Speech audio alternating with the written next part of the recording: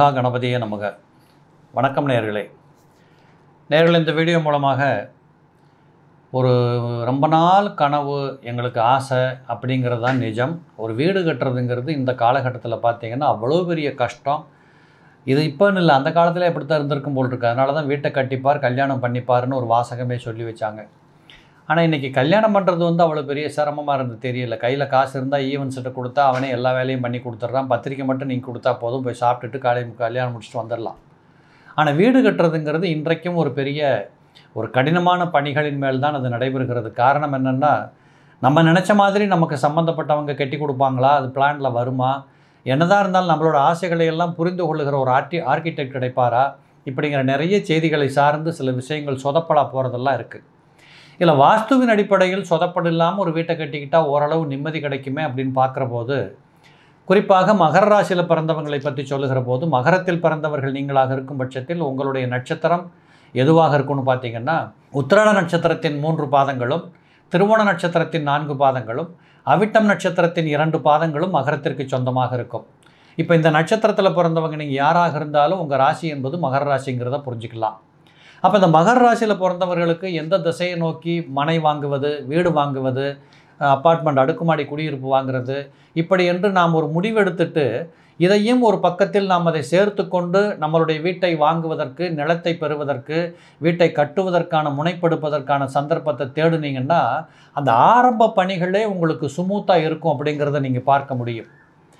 காரணம் இப்போ வீடு கட்டுறதுங்கிற போது பிளான் போடணும் ஆர்கிடெக்டை பார்க்கணும் அப்புறம் கொத்தனாரை கூப்பிடணும் கான்ட்ராக்ட் விடணும் பொருள் வாங்கி கொடுக்கணும் எத்தனையோ இருக்குது அப்போ இதில் எந்த தடைகளும் இல்லாமல் குழப்பங்களும் இல்லாமல் வீடு அமையுமா அப்படின்னா அதுதான் வீடு அதுதான் நல்ல நிம்மதி சந்தோஷம். அந்த அடிப்படையில் பார்த்தீங்கன்னா இந்த மகரத்தில் பிறந்தவர்கள் நீங்கள் குறிப்பாக தெற்கு நோக்கிய மனையை பெற்றுக்கொள்வதும் தெற்கு பார்த்து வீட்டை கட்டி கொள்வதும் அடுக்குமாடி குடியிருப்பில் அஞ்சாவது மாடி பத்தாவது மாடியில் நீங்கள் வீடு வாங்கினா கூட தெற்கு பார்த்த வீட்டை வாங்கிக்கணும் அந்த தெற்கு பார்த்த வீடு என்பது தெற்கு பார்த்த தலைவாசல் என்பது தென் கிழக்கில் இருக்க வேண்டும். அதாவது கிழக்கு ஓரத்தை சார்ந்து அந்த வீட்டோட மொத்த லென்த்தில் பார்த்தீங்கன்னா அந்த லென்த்தில் கிழக்கு பக்கத்தில் சார்ந்து இந்த வாசல் இருந்ததுன்னா ரொம்ப திருப்திகரமான அமைப்புன்னு அர்த்தம். அதுதான் உச்சஸ்தானம். அப்போது இந்த மகரத்தில் பிறந்தவர்கள் ஒரு மனை வாங்குகிற போது கூட வாங்குகிற போதே தெற்கு பார்த்த மனையை வாங்கிட வேண்டியதானே கொஞ்சம் சீப்பாக கூட கிடைக்கும். இப்போ எல்லாம் நிறைய பேர் என்னென்னு கேட்டிங்கன்னா மேற்கு பார்த்த மனையும் தெற்கு பார்த்த மனையும் விற்க மாட்டேங்குதுங்கிற மாதிரிலாம் பேசுகிறது உண்டு. அது என்னென்னா ஒரு புரிதல் இல்லாத மனப்பான்மை. கண்டிப்பாக கிழக்கு பார்த்ததும் வடக்கு பார்த்ததும் மட்டும்தான் நல்ல மனை என்பதெல்லாம் கிடையாது. தெற்கு பார்த்ததும் சில பேருக்கு அதிர்ஷ்டத்தை கொடுக்கும். அந்த அடிப்படையில் மகரத்தில் பிறந்தவர்களுக்கு தெற்கு நோக்கிய மனை என்பது மிகப்பெரிய அதிர்ஷ்டத்தை கொடுக்கக்கூடியது. அந்த மனையை நீங்கள் பெற்றுக்கொண்டால் அதில் வீடு கட்ட ரொம்ப சிறப்பாக இருக்கும். அப்போ தெற்கு பார்த்த மனைன்னா என்ன அர்த்தம்னு கேட்டிங்கன்னா மனை தெற்கு வடக்காக நீளமாக இருக்கும். உங்கள் மனைக்கு முன்பக்கத்தில் தெற்கு பக்கம் கிழக்கு மேற்காக ரோடு சென்று கொண்டிருக்கும். இதுதான் தெற்கு பார்த்த மனை.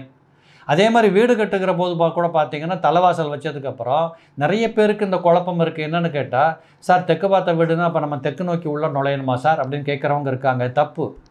தெற்கு பார்த்து வாசல் வைத்து வீடு என்று சொன்னாலே நீங்கள் அந்த வீட்டுக்குள் வடக்கு நோக்கி உள்ளே நுழையும்படியாக இருக்கும். தெற்குலேருந்து வடக்கு நோக்கி வீட்டுக்குள்ளே போகிற மாதிரியாக இருக்கும். உங்கள் வீட்டோட உள் டெப்த் எல்லாம் பார்த்தீங்கன்னா வடக்கு பக்கம் இருக்கும் தலைவாசல் தெற்க இருக்கும். நீங்கள் தெற்குலேருந்து வடக்கு நோக்கி உள்ளே போகிறபடியாக இருக்கும். இதுதான் தெற்கு பார்த்த வீடு. இப்படிப்பட்ட ஒரு அமைப்போடு நீங்கள் மகரத்தில் பிறந்தவர்களாக இருந்தால் ஒரு மனையை பெற்றுக்கொள்ளுகிற போது அடுக்குமாடி குடியிருப்பு வாங்குகிற போது அந்த வீட்டை இப்படியெல்லாம் அமைச்சிக்கிட்டிங்கன்னா அதுக்கப்புறம் உள்ள பெட்ரூம் எங்கே இருக்கணும்? படுக்கையறை எங்கே இருக்கிறது? ஹால் எங்கே இருக்கணும்? பூஜை ரூம் எங்கே இருக்கணும்? சமையலறை எங்கே இருக்கணும்? இதெல்லாம் நிறைய வீடியோ நான் ஏற்கனவே போட்டுட்டு அதெல்லாம் நீங்கள் பாருங்கள் பார்த்தீங்கன்னா கண்டிப்பாக நீங்கள் எந்த ஒரு வாஸ்து நிபுணத்துவம் பெற்றவர்களையும் தேடி சொல்ல வேண்டிய அவசியம் இல்லை. நீங்களாகவே உங்கள் வீட்டை ஆர்கிடெக்டை கொடுத்து அவர்கிட்ட போராடி வாதாடி உங்கள் விருப்பத்திற்கு ஒரு பிளானை பெற்றுக்கொண்டு ஒரு அருமையான வீட்டை கட்டிக்கொண்டு சந்தோஷமாக குடியேறி காலத்தை ஓட்டலாம். ஸோ இந்த செய்திகளை தான் நீங்கள் கடைசி வரைக்கும் முழுமையாக கேட்டு தெரிஞ்சுக்கிட்டிங்கன்னா சிறப்பாக இருக்கும். இதிலே பார்த்தீங்கன்னா கும்பராசின்னு எடுத்துக்கிட்டோம்னு வச்சுக்கோங்களேன். இந்த கும்பராசி என்று எடுத்துக்கொண்டாலே அவிட்ட நட்சத்திரத்தின் மூன்றாம் பாதம் நான்காம் பாதம் சதய நட்சத்திரத்தின் நான்கு பாதங்கள் பூரட்டாதி நட்சத்திரத்தின் மூன்று பாதங்கள் இவைகளெல்லாம் இணைந்தது கும்பராசி. அப்போ இந்த நட்சத்திரத்தில் நீங்கள் பிறந்திருந்தீங்கன்னா நீங்கள் கும்பராசிக்காரங்கன்னு அர்த்தம். இந்த கும்பராசிக்காரங்களுக்கு வீடு வாங்குகிற போது மனை வாங்குகிற போது ரொம்ப ஏதுவான அதிர்ஷ்டத்தை கொடுக்கக்கூடிய திசையை மேற்கு பார்த்த திசை. இந்த மேற்கு பார்த்த திசையில் கும்பராசிக்காரங்க குடியிருந்தீங்கன்னா நிச்சயமாக நீங்கள் சொல்லுவீங்க அது வாடகை வீடாக இருந்தாலும் சரி குத்தகைக்கு எடுத்த வீடாக இருந்தாலும் சரி ஒரு இடத்தை வாடகைக்கு எடுத்து கொட்டகை போட்டு ஒரு ஃபேக்ட்ரி நடத்திக்கிட்டு இருந்தாலும் சரி ஒரு காமனாக ஒரு மாட்டுத் தொழுவம் வச்சுருந்தாலும் சரி இதெல்லாம் உங்களுக்கு மேற்கு நோக்கியபடி இருந்து கொண்டிருக்குமானால் அந்த இடத்தில் நடக்கக்கூடிய அத்தனை செய்திகளும் உங்களுக்கு மிகப்பெரிய சிறப்பம்சத்தை கொடுக்கக்கூடியதாக இருக்கும். என்ன சொல்லப்போனால் விவசாயம் பார்க்குறவங்க கூட இப்படிப்பட்ட அமைப்புகளை எல்லாம் கொஞ்சம் கையில் பார்த்து தெரிஞ்சுக்கிட்டிங்கன்னா ரொம்ப சிறப்பாக அமையும். அதனால் இந்த மேற்க பார்த்தவங்க மேற்கு பார்த்து கட்ட வேண்டிய வீடுன்னு எடுத்துக்கிட்டால் கும்பராசிக்காரங்களுக்கு பார்க்குற போது இந்த மேற்கு நோக்கி என்று எடுத்துக்கொண்டால் வடமேற்கில் வாசல் வர்ற மாதிரி கட்டிக்கணும். அதுலேயும் பார்த்தீங்கன்னா மேற்கு பார்த்த வீடு என்றாலே உங்கள் மனைக்கு முன்னாடி தெற்கு வடக்காக ரோடு போயிட்டு இருக்கோம். நீங்கள் உங்கள் மனையில் உங்கள் வீட்டுக்குள்ளே கிழக்கு நோக்கி உள்ளே நுழைவீங்க. அதுதான் உங்களுக்கு மேற்கு நோக்கி வீடு என்று புரிந்து கொள்ளணும். இது அடுக்குமாடி குடியிருந்தா குடியிருப்புக்கு போனாலும் கூட நீங்கள் வீடு வாங்குறதுக்கு முன்னாடி பிளானை பார்த்து நேரில் போய் பார்க்குற போதே வந்து இதை நீங்கள் ஈஸியாக செக் பண்ணிக்க முடியும். உங்கள் காம்பஸ் எடுத்துகிட்டு போனீங்கன்னா போதும். இப்போ மொபைல்லே வந்து காம்பஸை நீங்கள் வந்து அந்த ஆப்பை வந்து எடுத்து வச்சுக்கலாம். டவுன்லோட் பண்ணிக்கலாம். டவுன்லோட் பண்ணிவிட்டு உங்கள் மொபைலை வந்து அந்த இடத்துல கொண்டு வச்சு பார்த்தீங்கன்னா அது மேற்கு நோக்கி காட்டுதா தெற்கு நோக்கி காட்டுதாங்கிறது உங்களுக்கு புரிஞ்சிக்க முடியும். ஸோ அப்படியெல்லாம் தெரிஞ்சுக்கிட்டு நீங்கள் ஒரு மனையை பெறுவது அல்லது வீட்டை பெறுவது அடுக்குமாடி குடியிருப்பில் வாங்குறது அப்படிங்கிறது காலகாலத்துக்கு உங்களுக்கு சந்தோஷமாக இருக்கும். யாராவது உங்கள் வீட்டுக்குள்ளே வந்து பார்க்குறவங்க கூட நீங்கள் என்ன ராசி? ஓ இதுவா? அப்போ நீங்கள் இந்த திசையில் வீடு வாங்குனீங்க. அப்படின்ட்டு ஒரு கமெண்ட் அடிக்க முடியாத அளவிற்கு உங்களுக்கு எந்த விதமான சொதப்பலும் இல்லாமல் நல்ல தகவலோடு நீங்கள் நிம்மதியாக குடியேறலாம். இதை வந்து கும்பராசியில் பிறந்தவங்க கட்டாயமாக மேற்கு நோக்கி வீட்டை கட்டிக்கணும் இதே மீன ராசிக்காரங்களாக இருந்துட்டால் வடக்கு நோக்கிய வீடு மிகச்சிறப்பாக இருக்கும். அப்போ மீனராசிக்காரங்க எந்த நட்சத்திரத்தில் இருப்பீங்க? பூரட்டாதி நட்சத்திரத்தின் நான்காவது பாதம் உத்தரட்டாதி நட்சத்திரத்தின் முழுமை ரேவதி நட்சத்திரத்தின் முழுமை இதெல்லாம் வந்து மீனராசியில் இருக்கும். அப்போ இந்த மீனராசிக்காரங்க ஒரு இடம் வாங்குகிற போது இல்லை வீட்டை கட்ட ஆரம்பிக்கிற போது நீங்கள் வாங்குகிற போதே வடக்கு நோக்கிய மனையை வாங்கிடுங்க. சார் இல்லை சார் எனக்கு கிழக்கு நோக்கி தான் எங்கள் அப்பா மனம் கொடுத்துருக்குறாரு. பூர்வீக சொத்து அது கிழக்க பார்த்தா இருக்குது அதில் வேணால் நான் வடக்கு நோக்கி கட்டிக்கிறேன். பரவாயில்ல பூர்வீக சொத்துங்கிறதுனால அதில் நீங்கள் அப்படி பயணம் பண்ணலாம். ஆனால் நீங்கள் ஒரு தனிப்பட்ட முறையில் நீங்கள் காசு பார்த்து சம்பாரித்து சேர்த்து வச்சு ஒரு மனை வாங்குகிற போது வடக்கு நோக்கிய மனையாகவே பெற்றுக்கொண்டீர்களானால் நிச்சயமாக அந்த இடத்துல வடக்கு நோக்கி வீட்டை கட்டுவீங்க பிரமாதமாக இருக்கும்.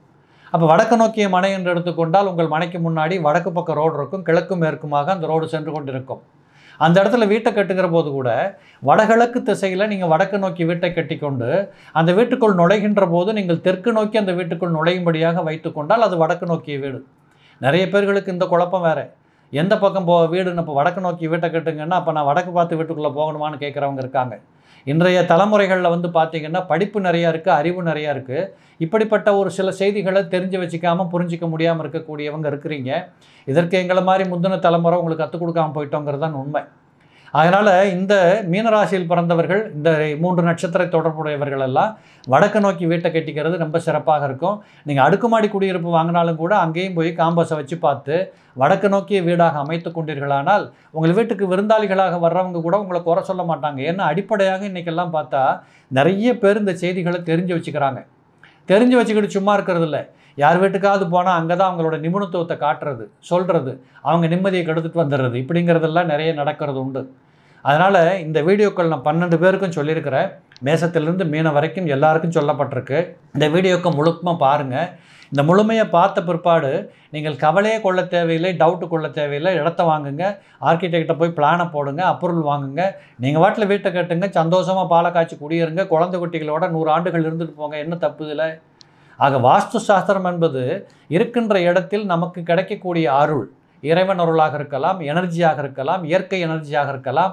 இவைகளெல்லாம் எந்த பக்கத்தை பார்த்து நாம் படுத்திருக்கிறோம் எந்த பக்கத்தை பார்த்து வீட்டை கட்டியிருக்கிறோம் என்று சொல்லக்கூடிய நியதிகளின் மூலமாக இந்த ஆத்மாவுக்கு இந்த உடம்புக்கு ஒரு எனர்ஜி என்பது வந்து சேரக்கூடியது. அதுதான் நல்லது அப்படி தான் இருக்கணும் அப்போ தான் நல்லா இருக்க முடியும்.